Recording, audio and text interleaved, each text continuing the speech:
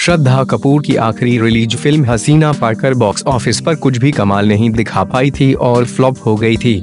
श्रद्धा कपूर की दो फ़िल्में आने वाली हैं, जिसमें से एक प्रभास के साथ साहो तो दूसरी साइना नेहवाल की बायोपिक जिसके चलते श्रद्धा साहो की शूटिंग के साथ साथ साइना नेहवाल की बायोपिक की तैयारियों में भी जुटी हैं। हाल ही में प्रैक्टिस के दौरान श्रद्धा के पैर में मोट आ गई। उन्होंने यह जानकारी सोशल मीडिया पर दी है।